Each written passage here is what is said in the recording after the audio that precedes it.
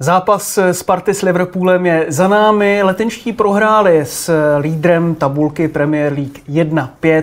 No a na celý zápas, ale taky na další eh, velký duel Slávě a konfrontaci Sparty se Sláví a s tou nejlepší evropskou konkurencí se podíváme dnes v závěrečném schrnutí utkání společně s Jaroslavem Hřebíkem. Ahoj, vítám tě tady. A společně taky s Kubou Poraným. Čau. Ahoj. No, 1-5 to skončilo, i když druhý poločas nám začal extrémně nadějně. Kubo, eh, proč si myslíš, že Sparta nakonec nebyla schopná z toho utkání vytěžit eh, ještě o něco víc? Takhle asi mohla a měla vytěžit víc gólů, protože ty šance eh, těch bylo opravdu hodně a jak v tu první půli, tak vlastně i v té druhé to bylo tak jak přes kopírák, kdy si myslím, že Sparta jako v těch brejcích dokázala na Liverpool najít recept, ale hmm Liverpool tu kvalitu ukázal, což jako to jsme asi úplně nepochybovali, že oni jsou prostě samozřejmě dál. Je to, je to první tým Premier League, ale, ale myslím si, že některé ty góly Sparta úplně inkasovat nemusela, že, jak se říká, byly takový dost eh, laciný a tomu favoritovi se pak hraje jako mnohem líp. Ale jak jsem říkal, to Sparta, Sparta těch šancí měla hodně a bohužel pro ně nedokázala využít. Hmm. Jardo? No tak vyčerpávající Kuba. Já si myslím, že krutý pro Spartu, protože takovéhle zápasy, které vidíme v Premier League, eh, takové zápasy tam jsou, sehrála Sparta. Sparta podle mě se z toho poučí, eh, protože, protože se neustále nějakým způsobem zlepšuje. Eh, kdyby jsme, kdyby jsme doopravdy dali ty gólové situace stranou a podívali bychom se na zápas, tak bychom skoro řekli, že Sparta byla lepší, ale rozhodují góly, což je i spravedlivý, no a Sparta je nedala. Hmm. Brian Priske hodně často mluví o tom, že hráči musí volit správná řešení. Vlastně on to jako velmi, řekl bych, jako chladně až takovým technokratickým jazykem popisuje některé věci, ale ono to vlastně sedí. Eh, máš pocit, že ono se to dá pojmout takový jakkoliv, že individuální chyby nebo systémové správná řešení. Jak bys vlastně popsal to, z čeho vyvěrali eh, ty spartianské inkasované góly? Ne, tak to decision making je samozřejmě jako úplně zásadní, navíc teď, když ten fotbal se fakt jako posouvá extrémně do té rychlosti. Eh, mám fakt to srovnání, když jsem začínal já, tu profesionální kariéru a potom, když jsem ji končil, tak už tam byl obrovský rozdíl, si pamatuju, jaký byly taktický pokyny, co jsme jako hráči museli vnímat, takže eh, opravdu to jde nahoru a potom ten eh, hráč je za mě extra ceněný tím, že dokáže v těch v tom vlastně malém čase zhodnotit spoustu těch aspektů, kde má spoluhráče, kde má protihráče a vybrat to správné řešení. Já třeba jsem v poločase říkal, že Sparta z mého pohledu by mohla mnohem víc hrát vlastně na té ose eh, třeba levý stoper až levé křídlo, protože tam ty prostory byly, ale eh, v tu chvíli zásadní je vlastně ta pozice toho, eh, toho wingbacka na té straně. Jak vlastně umožní tomu křídlu se uvolnit. Ale na druhou stranu jsem viděl, že v Lize má Sparta na tu přípravu té akce mnohem víc času. Ale tady ten pressing Liverpoolu prostě byl tak okamžitý a tak dobře Eh, zpracovaný, že ten levý stoper neměl čas na to si v klidu tu situaci vyhodnotit. Zároveň ani ten wingback už neměl čas na ten pohyb, takže všechno bylo mnohem rychlejší a Sparta vlastně potom nebyla schopna to dělat tak precizně, jako to třeba umí v Lize a tam ty soupeře jako relativně lehce překvapí a dokáže je překonat. Zase vyčerpávající. Tady jde o to, že když hrajete pressing, tak eh, když používáte ve hře pressing, tak ho musíte hrát až dokonale, aby když eh, uděláte chybu, prostorovou chybu, nebo nějaký hráč se nechá obejít, tak vzniká prostor a když je kvalitní soupeř, tak ho okamžitě využije. Eh, to nejsou ani chyby, které vlastně Sparta třeba udělá, ale ty díry tam vznikají, když je tam špatný třeba přepnutí do zádu a ten prostor se nechá, tak Liverpool ho vy, eh, využije když eh, takhle bude hrát Sparta v naší lize, tak soupeř, i když jim ten prostor nechá, tak soupeř ho nedokáže využít. Z toho pohledu obrany dá se říct, že vlastně oba týmy na tom byly stejně, jakože byly vlastně stejně otevřené ty obrany, akorát eh, Liverpool dokázal kvalitou těch eh, ofenzivních hráčů je lépe využít. No tak eh, říkali jsme to na začátku, to je typická hra, kterou praktikuje Liverpool. Je pod trenérem vlastně používaná a ta hra tohle to přináší ta aktivita, ta vlastně i to rychlost toho napadání, když vlastně rychle napadáte a soupeř eh, dokáže využít toho prostoru a zvládne ten prostor, tak vlastně ty hráči se eh, objeví ve předních pozicích a proto taky Sparta měla dneska tolik šancí. Hmm. Eh, viděl bys právě třeba to, jakým způsobem Sparta už pak třeba nebyla schopná si tvořit šance jako důsledek toho, že hrála opravdu extrémně fyzicky vyčerpávající první poločas a pro ní to je taky asi nějaký reality check, když to takhle řeknu, nakolik vlastně můžeme tempovat ten zápas po celých 90 minut. Jo, já si myslím, že uh, samozřejmě hráli hodně náročně i vzhledem k tomu, že Liverpool fakt ten míč měl přilepený na noze, ví, co mají hrát, dokážou velmi dobře ten balon kontrolovat, tak Eh, Sparta se hodně naběhala a samozřejmě potom v tom eh, druhém poločase už v některých fázích bylo vidět, že eh, trošku kondičně nezvládají. Já si myslím, že tohle se asi dalo i lehce očekávat před zápasem, protože Liverpool, přesně jak jsme zmiňovali, tak takhle těžkých nebo obecně těžkých zápasů hrají prostě spousty, ty hráči jsou na to zvyklí, ať už je to základní jedenáctka nebo širší kádr.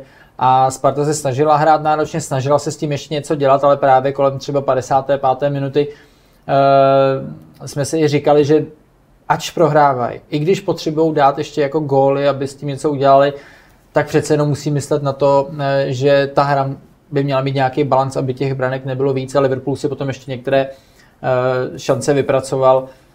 Jo, jak říkáš, reality check, uh, takhle to je. Myslím si, že i podle toho jsou v podstatě jako hodnocený ty ligy, není se čemu divit. A to, jak jsem říkal, jestli to náhodou Liverpool nepocení, tak tím, že šli velmi brzy do vedení, tak to vlastně ani jako nemůžeme vědět. No. Hmm.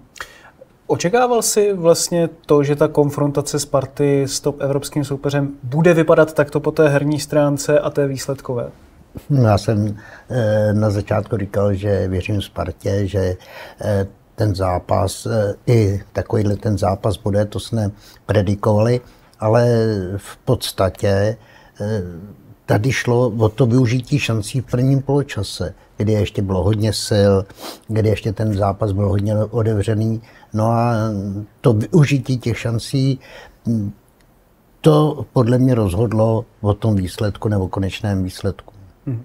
Být trenérem v takovéto situaci, eh, když si to budete potom vyhodnocovat hráči, jakožto trenéři, eh, co by ti jako utkvělo jako první věc, nebo jedna z těch jako zásadních věcí, kde Sparta ještě třeba i v té ligové konfrontaci, z čeho se vlastně může poučit jako z takovéhoto zápasu?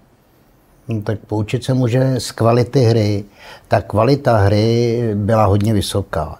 Potom ty situace, které finální vznikají, těch pokutových území, to už tak vysoký nebylo, tak eh, to je to, je to poučení. Nehledě na to, že Sparta eh, když už v naší lize se s takovým způsobem hry nesetká. Takhle proti Spartě nikdo nehraje takhle otevřeně, jako hrál Liverpool, kde vlastně Liverpool útočil vlastně všema hráčema, i když těma zadníma hráčema, tak prostorově útočil a když došlo ke ztrátě míče, tak logicky třeba Sparta útočila do 4-5 hráčů Liverpoolu. Eh, v naší lize takhle otevřeně nikdo nehraje, takhle in, in, iniciativně, takhle aktivně, eh, co se týče pressingu a toho útočení, tak s takovým zápasem, s takovým ústrovem se Sparta nesetká. Hmm. V každém případě, když jsme se třeba o poločase bavili o tom eh, způsobu výstavby hry, eh, je to třeba jedna z těch věcí, kde by to Sparta mohla upravit i do ligových zápasů, tak, aby se připravila třeba na předkola ligy mistrů nebo právě konfrontaci s tou elitou? Já vlastně jako navážu na to, co jsem říkal předtím, že eh, Sparta na to měla mnohem méně času a v podstatě tady tenhle ten zápas, eh, jenom takovýhle zápasy vlastně můžou posouvat. Jako tohle to nejde natrénovat eh, v tréninku, nejde si to asi úplně vyzkoušet v té lize, protože tam samozřejmě na to mají víc času a tím, že mají víc času, tak si ho vlastně i dopřejou v tom smyslu, že to potom dělají tak, takzvaně na tuty. Jo? A tyhle ty zápasy podle mě jako můžou posouvat a díky tomu to potom budou třeba zvládat rychleji, ale jako um, ukázat si to třeba na videu, anebo právě to vyzkoušet v tréninku, ten efekt to mít nebude. Takže uh, v tomhle tom si myslím, že to chce v podstatě čas. Ať Sparta hraje co nejvíc takhle kvalitních zápasů a podle mě jsou jako na, na dobré cestě. Já tam jako vidím ten přirozený vývoj, že opravdu se posouvají dál a dál ale tenhle ten vývoj jako jednoduše přeskočit nejde. No. Já budu trošku oponovat. Ono to v podstatě se dá na to připravit. Máte 22 hráčů v kádru, plus máte možnost třeba mladý hráči si vzít do tréninkového procesu nebo z Bčka.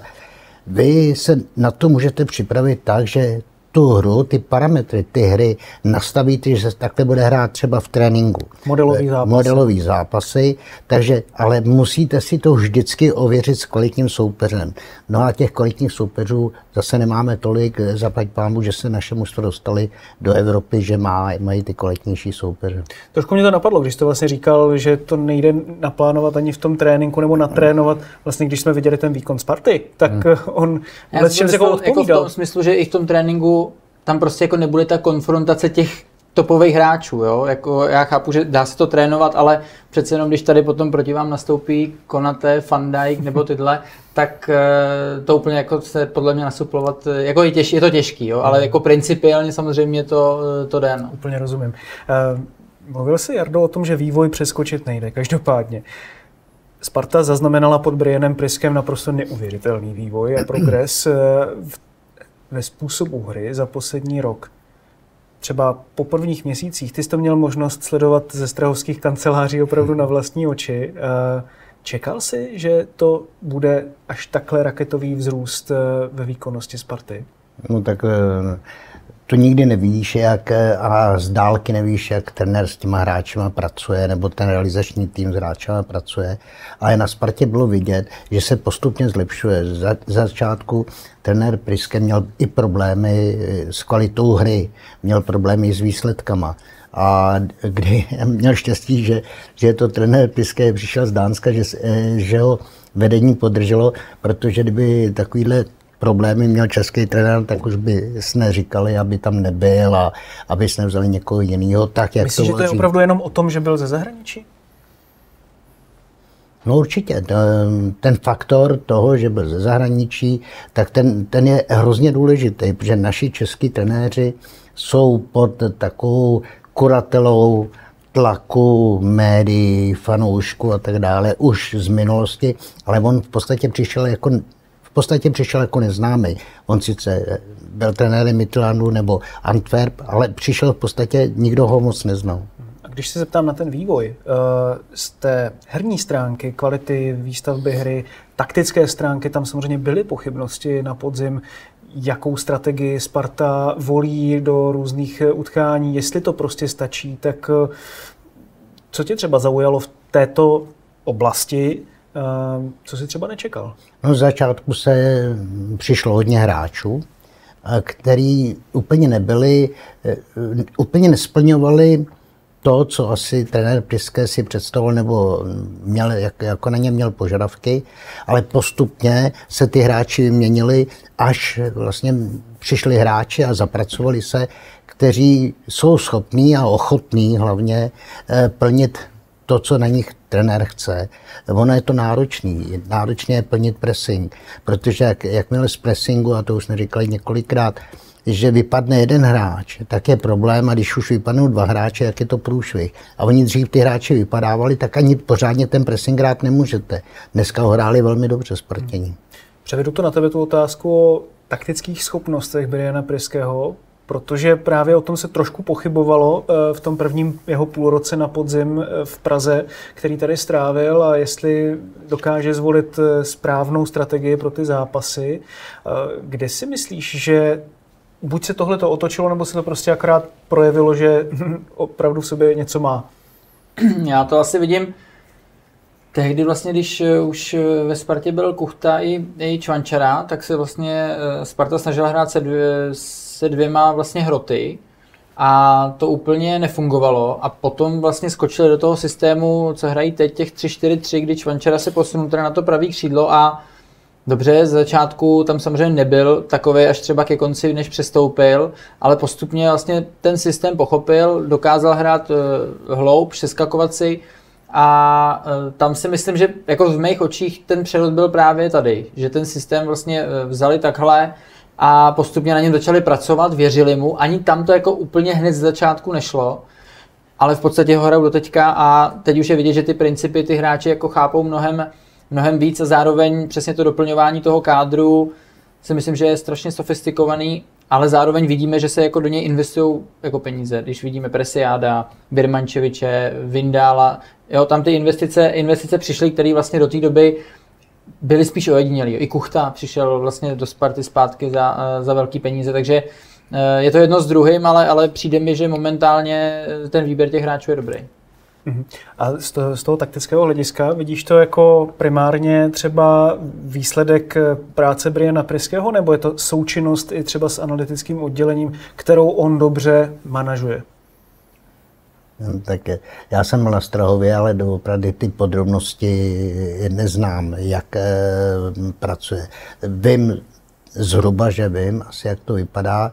A to, že vlastně, že se daří ten posun kvality hry, eh, daří se posun i eh, kvality hry hráčů, nejenom celého týmu, tak eh, to svědčí o tom, že tam je jednotný přístup, že ten charakter ten týmu, charakter toho týmu je dostatečně dobrý, že to přijal a je to ostatně vidět vždy, když na jakýmkoliv rozhovoru, jak se hráči chovají. Ten charakter je důležitý. Bavili jsme se o tom, čem se může Sparta posunout eh, na základě té konfrontace s Liverpoolem. Myslíš si, že ta ťavka přišla pro ně tu nejlepší možnou chvíli? Když to vůbec nevím ani, jak to teda úplně přesně e, myslíš, no tak já si myslím, takhle ideální by podle mě bylo, kdyby ta těvka teda, když už tak přišla v Liverpoolu teda, aby se e, ještě ten druhý zápas bylo co hrát, protože teďka si asi můžeme říct, že e, ten výsledek je takový, že Sparta už s tím jako nebude schopná nic moc dělat, navíc eh, Liverpool splnil nejspíš to, s čím jsem přijel, že pošetří potom v tom dalším zápase síly, protože mají náročný program a mají relativně komfortní náskok, takže já si myslím, že ta těvka by byla pro Spartě nejlepší, kdyby přišla teda až to, až to druhý kolo. Rozumím, ale z toho pohledu, jako kam se vyvíjí sezóna, co si Sparta splnila, eh, kam se třeba ještě ona sama potřebuje posouvat, tak aby obstála v té nejvyšší konfrontaci a prostě ten svatý grál, který dlouho unikal, eh, kvalifikace do ligy mistrů, tak aby věděla, jako na co má aspirovat, tak jestli eh, tento moment, asi je mi teďka v tuto chvíli jedno, jestli je to v tom prvním zápase nebo hmm. v té odvetě, tak jestli tohle to je třeba ta správná fáze, nebo naopak je to třeba může nahlodat v boji o titul. No, já si nemyslím, že by je to mělo asi nahlodat. Jako podle mě jsou si vědomí svojí síly. Asi si to představovali jinak, že ten výsledek bude pro ně přívětivější, ale já si nemyslím, že by tohle mělo je teda nějak jako extra ovlivnit do, potom do té ligy. No. Mhm. Jardo, eh, a co se týče toho posunu teďka ještě z té fyzické stránky, bavili jsme se o tom, že vlastně v těch posledních 30 minutách už nebyla Sparta schopná šponovat eh, to tempo do té fáze, aby byla schopná ještě si vytvořit další šance a třeba ten výsledek nějakým způsobem zdramatizovat. Mluvili jsme tady o tom, že Sparta je momentálně třeba na úrovni průměrného klubu v Premier League, tak je třeba ta fyzická stránka nebo i třeba kvalita střídajících hráčů nějaký aspekt, ve kterém se může posunout? No posunout se může vždycky, že jo. A tady ta, Realisticky myslím. A tady je důležitý e, taky ta mentální stránka. Sparta viděla, nebo hráči Sparty už vidějí, že prohrávají hodně, že i ten soupeř je hodně silný. Takže už tolik asi neběháte nebo nevyčerpáte svoji energii na maximum a spíš třeba se upozadíte a nepůjdete sprintovat, takže dopředu půjdou tři hráči místo čtyřech nebo místo pěti a ta útočná akce třeba nebude mít, nebude mít takovou sílu. To je po té mentální stránce, já to chápu, když hodně prohráváte, tak už to není takový, ale není to asi o fyzické kondici, že hráči, i když hrajou takovýhle zápas, kolik naběhají metrů, třeba nad určitou hranicí rychlosti a tak dále a tak dále, celkem nebo celkem kilometrů, tak to bude takový, v dnešním zápase bude to dost, ale ne, nebude to nic, že byste řekli, to se nedá zvládnout. Můžou to zvládnout, co se týče fyzické kondice, to zvládnou za čtyři dny, bez problémů. Hmm. Souhlasíš? Jo, jo, souhlasím. Je to, tady to už je potom asi e, fakt o té psychice, protože ten hráč si jako dokáže sáhnout ještě trošičku dál, když třeba fakt potřebuje dát gol, ať už teda e, na remizu nebo na výhru, když potřebuje eh, v tom druhém zápase právě na postup. Takže e, jo, tam, tam si myslím, že už je to potom jako o tom, o té motivaci na tu hlavu, hmm. která jako chápu, že potom přesně jak říkal tady pan Hřebík, tak v tom zápase už není. No.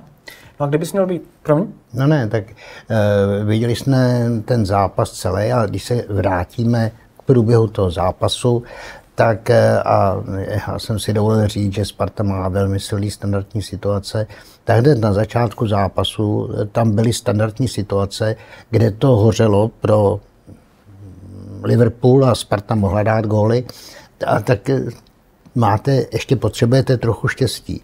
Kdyby Sparta vedla, už by nemusela tolik třeba jako hrá otevřený fotbal, jako hrála, tak eh, a potřebujete to štěstí, kdyby vedla, tak se ten zápas vyvíjí na kleté, kdyby. Hmm. Kdybys měl být scout zahraničního klubu, to, z top 5 evropských lig, kdo tě zaujme ze Sparty po takovémto zápase? Tak jestli bych eh, úplně nemusel koukat teda na věk, který už sam, eh, je relativně jako důležitý, pokud teda vybíráme do takového jako top klubu, tak mně se prostě líbí Birmančevič. No. Já vím, že už samozřejmě to není ten adept na to, aby někam eh, nějak extra přestoupil, ale uh, ani nevím proč, ale když ho srovnávám ve své hlavě s Hraslínem, tak uh, ten Birmančevič je u mě o kousíček víc. Možná bych řekl, že i defenzivně si to, si to lehce líp plní a za mě by to byl on, samozřejmě i Presiado tou, tou dynamikou je zajímavý. Já si myslím, že ve Spartě ještě poroste. Vidím tam taky u, u něj pořád zápas od zápasu, že je lepší a lepší a zajímavější. Tak uh, tyhle ty dva by asi pro mě byly teďka tak nějak uh, asi nejzajímavější. A dneska je ten zápas eh, zvládl velmi dobře Krejčí, mm-hmm. který, který hrál v tom svém prostoru, hrál v podstatě neviděli jste nějakou chybu, kterou by udělal nebo něco udělal špatně, takže ještě Krejčí a co se týče ten Presiado, to je hráč, který vlastně v tom prostoru dělá něco navíc. Ten soupeř musí si pořád hlídat, jestli ten do někoho neobejde, aby tam byl blízko a tak dále. Takže jo, souhlasím s tebou. Říkal jsi si, že Angelo Presiado asi bude hráč nejvíc podle tvého gusta, Jardo, se současného spartanského kádru. Je to tak? No tak jo, ne, tak kdyby byl trenér, tak ho chci jako hráče mít, že jo, tak protože tak Presiado, to je něco podobného jako Salah vepředu, tak Presiado třeba v záději, že jo, tak jsou to podobné typy hráčů. V současnosti na základě té aktuální formy řekl bys, že Presiado je nejlepší hráč ligy? Já to takhle bych to asi teda zase úplně neviděl. Teda. Myslím, My budeme mít teďka anketu top 100 hráčů v Lize, si, takže trošku už směřujeme tam. Je jo. takhle. Myslím si, že se má ještě furt kam posunout a jiní hráči uh, podle mě na tom svém píku jsou teda dál. Mm-hmm. Ale dneska musím jako hodně opravdu ocenit teda ten jeho lob, který zkoušel z té půlky hřiště, kdy vlastně chtěl dát kříž, pak si všiml brankáře, že lehce venku a, a dokázal to vlastně i, i takhle velmi rychle uh, vystřelit chyběl kousek. No. Myslím si, že to ukazuje, že že se jako vodosvíc věří a díky tomu dokáže dělat takovéhle řešení. Jasně. My jsme právě, mě to trošku napadá i z toho pohledu, že ty jsi jmenoval teda Ladislava Krejčího, Bavíme se třeba o spartanských stoperech, konkrétně i Martin Vitík, jakože to je adept dlouhodobě na eh, přestup do top klubu, tak když si promítneš ty jeho evropské zápasy, eh, Martina Vitíka, eh, jak ho prověřili nebo svlékli do naha, jak vlastně tohleto uh, čteš ty? No, tak já Martina Vitíka znám spoustu let, takže vím, jak se vyvíjí a v podstatě se dá říct, že měl období asi před dvouma rokami stagnoval a už zase jde, co se týče kvality svojí činnosti, tak, tak jde nahoru.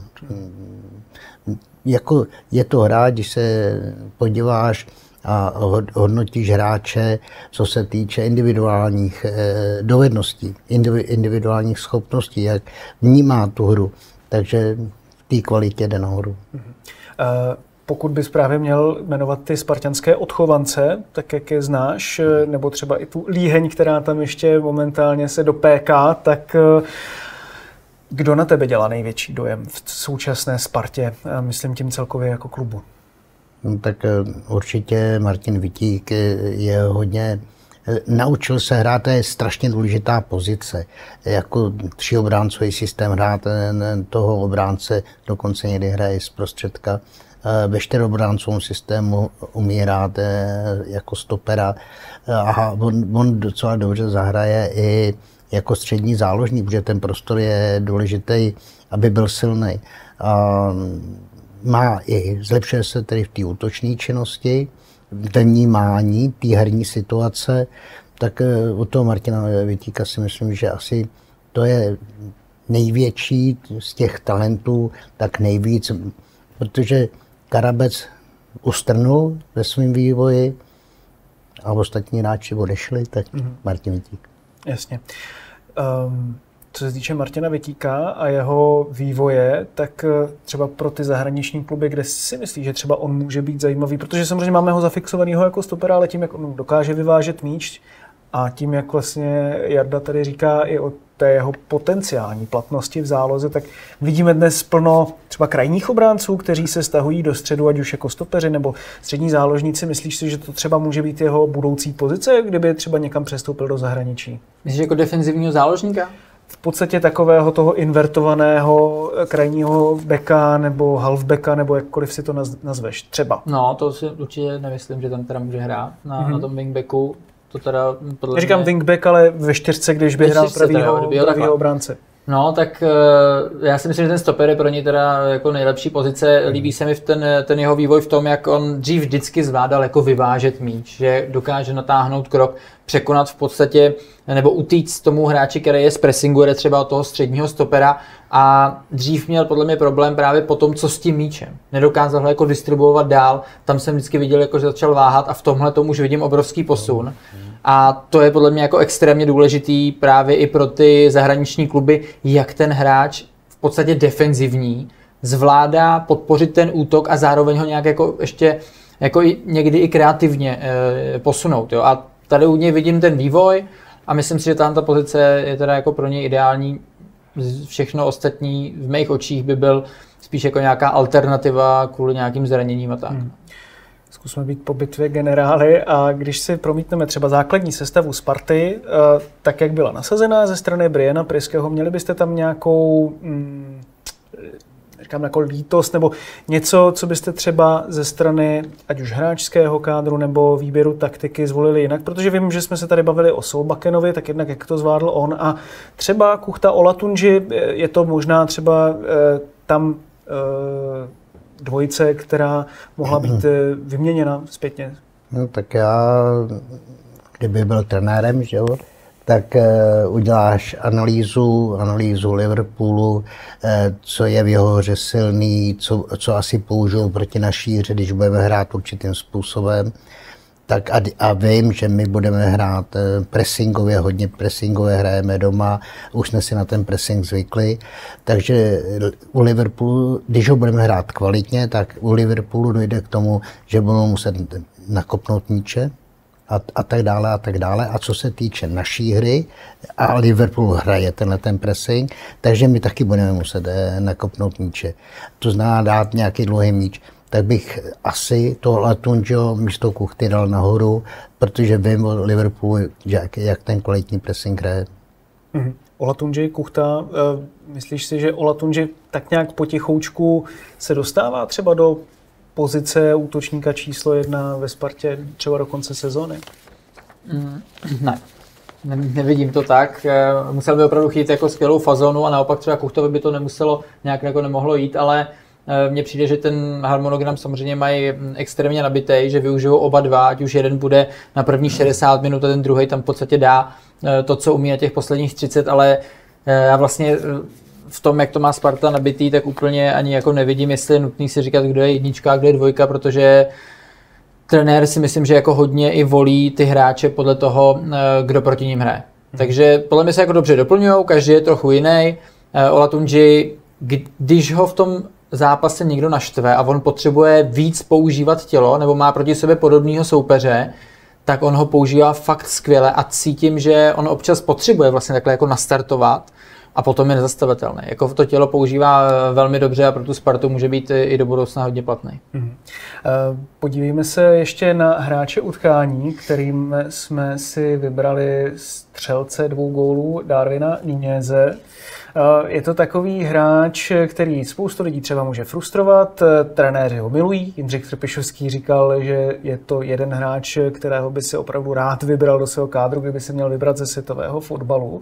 Eh, Jardo, jak ty to máš hmm. s Darwinem Nunězem a souhlasíš s slovy Jindřicha Trpišovského? No, tak samozřejmě eh, ho moc neznám eh, jako hráče, ale vím, jak hraje a jak hraje potom proti určitým soupeřům tak eh, takový hráč ne, za prvé hraje v Liverpoolu, tam nehrajou špatní hráči a v českém fotbale by podobného hráče nenašel. To je suverénně hráč, kterého by chtěl snad každý trenér. Hmm. I když neproměňuje ty šance občas. Občas, občas eh, on právě, že mi přijde, že čím lehčí šance pro něj, tak eh, tím hůř, že potom jsme dneska viděli odkud on dokáže dát třeba tu, eh, tu svoji první branku, to byla skvělá z dálky. A celou dobu hlavně bylo vidět, že i když mu tam šel hráč do tandemu, tak on byl rozhodlý, že bude střílet. A pak to dokázal vystřelit takhle. Uh, tu kvalitu má a vlastně má na to i čísla, i když eh, samozřejmě v té, hlavně v té podzemní části sezóny na něj lítali jako různý vtípky, že že mu to nelepí, ale on těch gólů má pořád hodně. No a Jurgen Klopp to s takovými to typy útočníků opravdu umí naprosto dokonale. Levandovsky, že jo, potom eh, samozřejmě se můžeme bavit o eh, brazilském forwardovi Roberto Firmínovi, že jo, toho vlastně Firmino. sice nikdy eh, z něho se nestal nějaký velký střelec gólů, ale když to člověk vidí, tak asi si říká, co by s ním Klopp mohl udělat když se právě podíváte na práci Jurgena Kloppa jakožto jednoho z dvou nejlepších trenérů na světě, Uh, Jardo, zeptám se tebe, v čem je on pro tebe výjimečný? Hmm, tak já mm, jeho činnost eh, vlastně má zmapovanou asi od roku 90 a něco. A jak jsem říkal, chodil eh, do, do těch studií, pak jak přestoupil v Dortmundu a tak dále, tak je to trenér, který inspiruje eh, nejenom tím, jak působí, co vyzařuje, ale on inspiruje tou hrou, kterou on chce, aby jeho tým hrál. Je to taková hra, která někdy, že dostaneš v pouzovkách za uši, že se ti něco nepovede, máš to otevřený, ale je to, je to hra, trenéři, když se na to dívají a analyzují, tak se můžou učit, aby se vyvarlovali něco, co třeba naši hráči nezvládají, ale by, aby využili to, co oni dělají. A, a jaká situace, když ji oni zahrajou, může vzniknout a jestli ji zvládneme nebo nezvládneme, to je taková ta trenerská práce, inspiruje. Hmm. se podle tebe dokázal posunout eh, i z hlediska třeba nějaké herní strategie eh, v Liverpoolu proti třeba Dortmundu? No tak tam v té bezpečnosti hry on dřív spíš nechával a pamatuju si, jak když hráli v Dortmundu, tak hráli třeba, když, když Dortmund útočil, tak eh, zůstávalo třeba pět hráčů bránit a pět hráčů ze předu se vracelo pomalu. No a teď vlastně vidíte, že to je tak, že do přepínání do obrané fáze je tak asi do toho postavení jedna nad míčem a devět začne bránit. A ty hráči tam jdou rychle, on si uvědomil, že je to nutný, i když dávají hodně gólů a můžou vyhrát třeba 3, 2, 4, 3 a tak dále, ale že, uvědomil si, že je to nutné a ty, ty hráči na to přistoupili a, a plnějí to a proto vedou anglickou ligu. Podívejme se teď ještě eh, v našem posledním segmentu dnešního studia eSport.cz taky na Slávě, protože ta právě eh, hraje na San Siru proti AC Milan. Oba týmy za sebou mají dvě derby, pohárové a to ligové. Myslíš si, že už se v Lize hrají evropštější derby? Eh, když se tě zeptám na to, jak vlastně připravují tyto největší zápasy v České lize i na tu konfrontaci v Evropě. Myslíš na hřišti? Jo, myslíš, no, jo, ne obecně, takže já si myslím, že by to jako všichni chtěli, aby se hráli. Viděli jsme ty derby, který byl extra vyhrocený, teďka jsme zase viděli to taktický, kde opravdu ty týmy se dokázaly navzájem eh, eliminovat, ale já tak nějak jako cítím z obou dvou těch táborů, že chtějí, aby se hrál primárně fotbal aby to nebylo nějaký uh, rozkouskovaný a věřím, že třeba uh, časem budou ty góly padat i pravidelně v tom poháru. Já, já to cítím tak, že ten pohár pro ty týmy nebyl až takovou prioritou, jako je liga, což z mého samozřejmě pohledu se dá pochopit. Jo, v lize se hraje o víc, takže uh, tam to možná bylo trošičku otevřenější. Slávia byla na koni, Sparta to dokázala otočit a to druhý, tam bylo vidět, že se hodně kalkuluje. Hmm. Protože prohra pro oba dva týmy by byla do jisté míry jako velká čára přes rozpočet. Jado, já se tě zeptám, mě to zajímá od tebe jako trenéra. Jak tě baví souboj Jindřich Trpišovský, Brian Priske?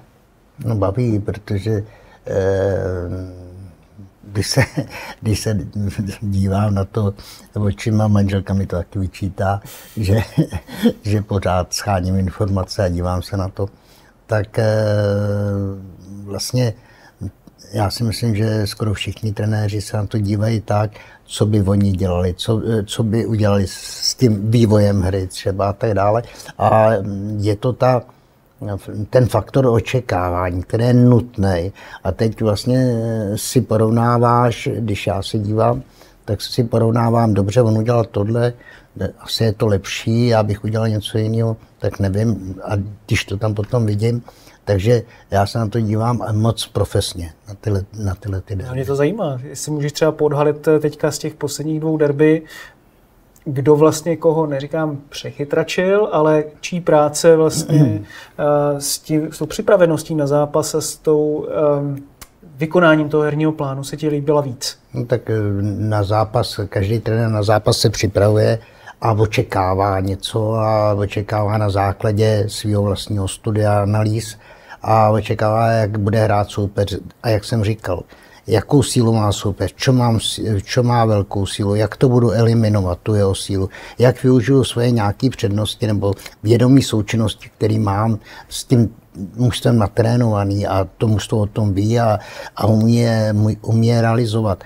Takže eh, do toho zápasu jako trenér jdeš s tím tím předpokladem. No a teď se to začne vyvíjet, jinak budeš mít smůlu, někam se to odrazí a musíš reagovat, reagovat na ten vývoj, co se stalo, ale dokonce už ho máš kolikrát připravený a řekneš si, dobře, když budeme prohrávat, tak udělám to. Když se nebude tomuhle hráči dařit, udělám, udělám tohleto opatření. Takže takhle jdeš do zápasu a, a já sleduju třeba Jindru Trpišovský už několik let, eh, když se dařilo Slávy a jak reagoval a jak připravoval mužstvo, co od něj chtěl.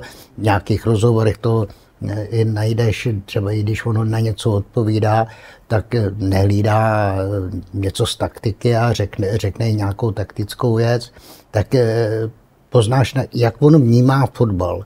Takže on vnímá fotbal a vnímá toho fotbalu silné stránky a ty slabší stránky, no, tak se na to můžeš připravit. Takže já to vidím tak, že Slávia eh, byla hodně silnější než je teď, byla taková, co se týče rychlosti hry, rychlost hry je taková, že musí vlastně být v pohybu a ve správném pohybu hodně hráčů, nejenom jeden, dva, tři, který se zúčastňují té útočné fáze, tak je to rychlost. Ale ta rychlost se počítá i do obrané fáze, jak se pohybujete. Dřív Slávě hrála takový hodně rychlostní fotbal s migrací hráčů, vědomou migrací, že se hráči o sobě věděli, věděli asi, jakým způsobem hrajou, jaký mají jako co vědí, že udělají pravděpodobně, že mají to odpozorovaný z tréninku, takže Slavě hrála, byla ta její hra hodně, hodně taková moderní, kvalitní a teď mi připadá taková rozleděná. Rozdíl proti Spartě a hrála jiným způsobem hry, já už jsem to říkal, hrála, že měla silný každý ten prostor, který Sparta, kam nasadila hráče, tak každý ten prostor je silný.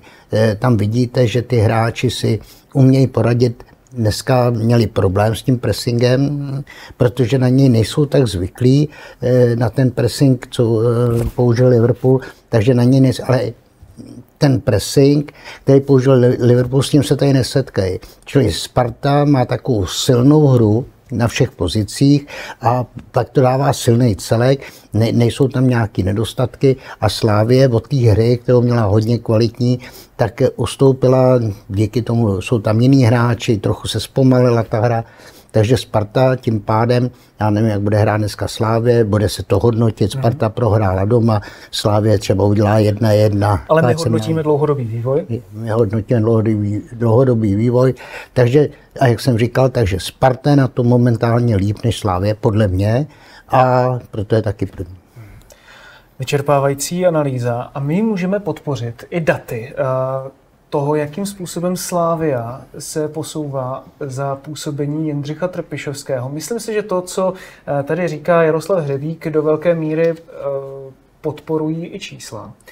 Já to trochu vysvětlím, je to hodně house number na jednom místě, ale uh, XG per shot, to je v podstatě očekávaný gól na jednu střelu, kvalita šance se tady tímto způsobem měří a vidíme, že vlastně od sezóny 2018-2019 se mírně zvýšila, ale důležitá je tam statistika od sezóny 2020-2021, kdy se právě kvalita těchto šancí snižuje a e, to i v tom absolutním měřítku, nebo respektive relativním měřítku vůči zbytku ligy, kdy je v té současné probíhající sezóně až na čtvrtém místě. Sparta je o něco málo e, lepší v tomto ohledu. Přesnost přihrávek ta je uh, druhá nejvyšší v lize, poměrně stabilně.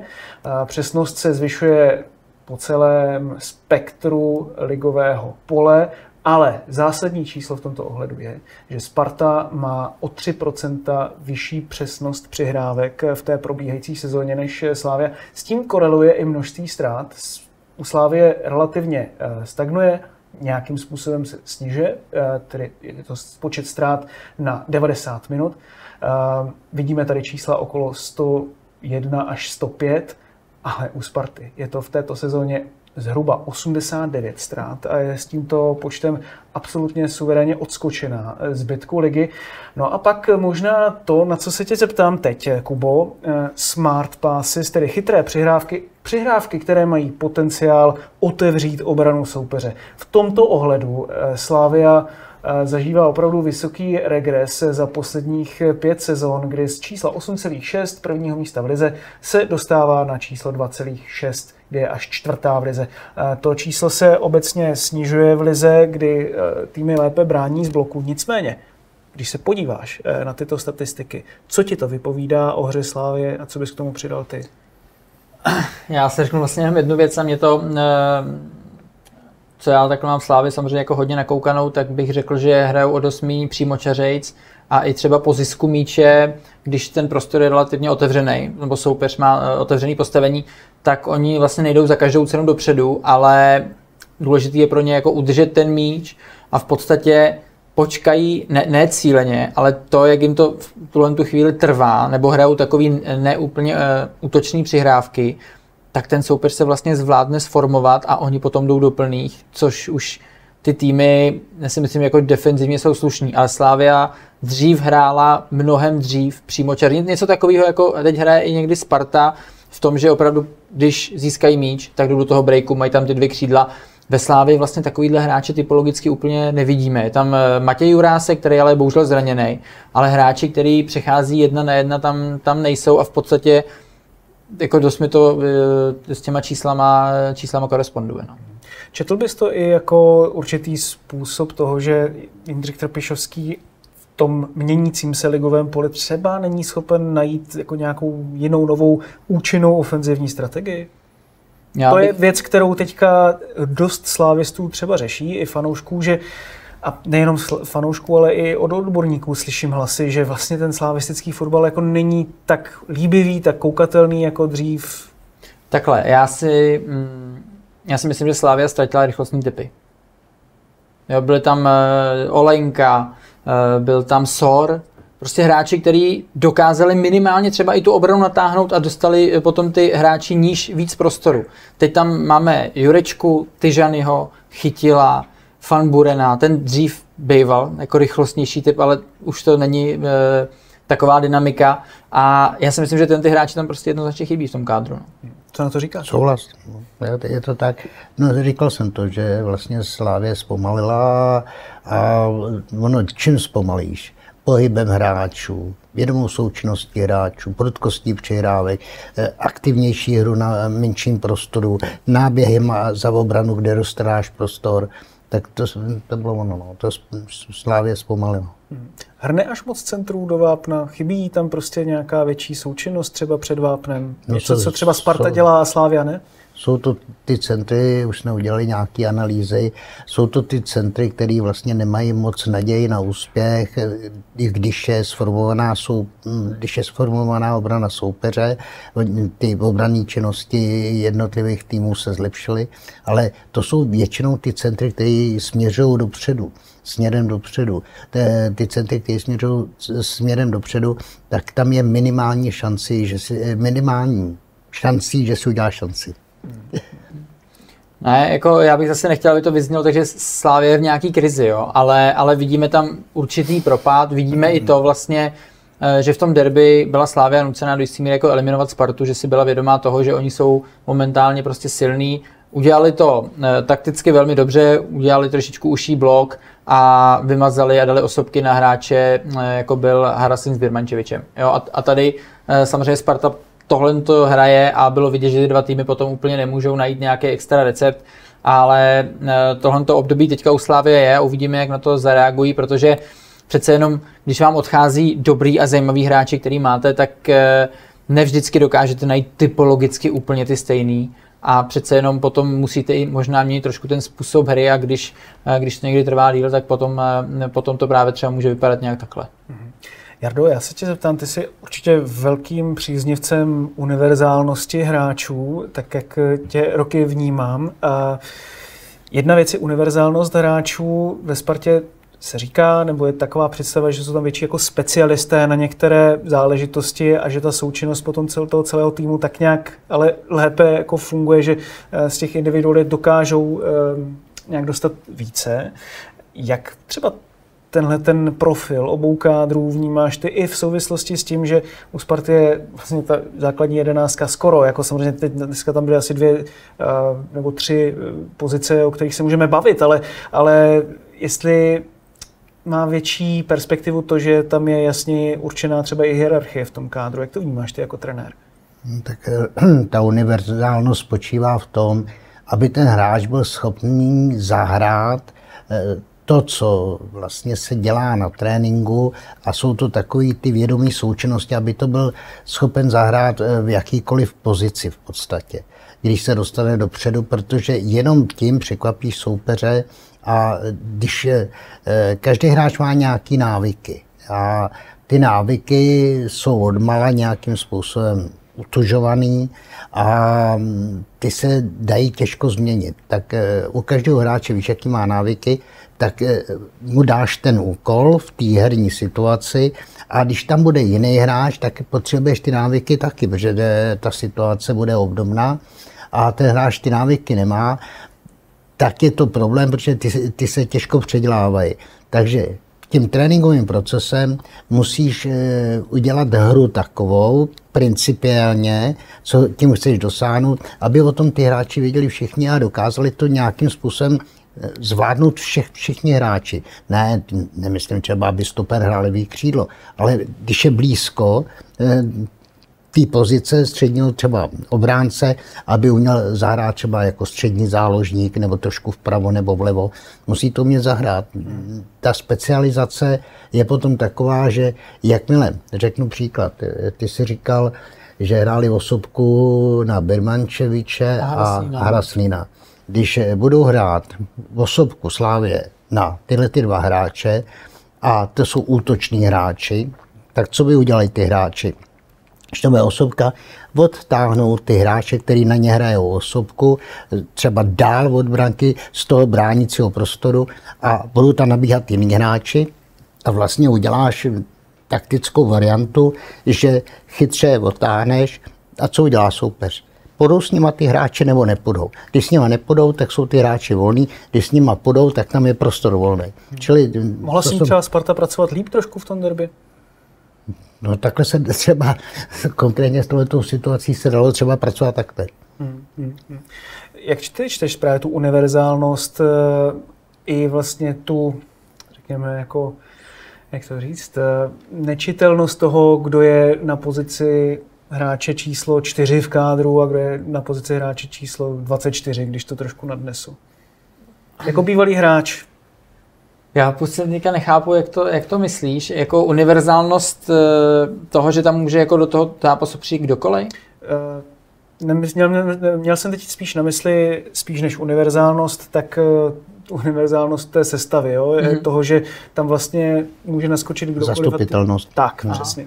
Ne, tak to je určitě důležitý, protože přece jenom to, že ty v tom zápase měníš ty pozice, ty hráči dělají vlastně v podstatě nějaký organizovaný chaos, tak nutíš toho soupeře k nějakým, nějakému pohybu, eh, který, kde on musí komunikovat. A každý takovýhle pohyb, takováhle komunikace právě je prostor pro chyby. A ty vlastně toho soupeře do toho chceš dostat, aby těch chyb udělal co nejvíc a jednu z nich využít. Takže pokud ty hráči dokážou nějak vířit, rotovat, a navíc se v těch pozicích chovat dobře, že potom splní náležitost pozice, kde zrovna jsou, tak máš jako velkou pravděpodobnost na to, že toho soupeře překonáš. Protože on samozřejmě, když je z té rychlosti, tak ta komunikace někdy nemusí slyšet, špatně načteš ten prostor, načteš blbě náběh nějakého hráče.